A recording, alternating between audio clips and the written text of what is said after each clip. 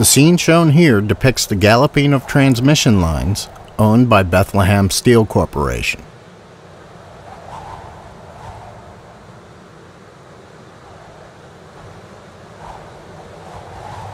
The line on the left was equipped with Windamper anti-galloping devices in 1991.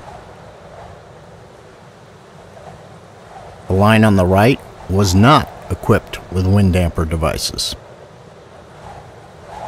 After this episode, Bethlehem Steel installed 125 Windamper devices on the right hand line. No galloping has been seen on either line since the installation of the Windamper devices. Although several galloping incidences have been reported on other lines not equipped with Windamper devices.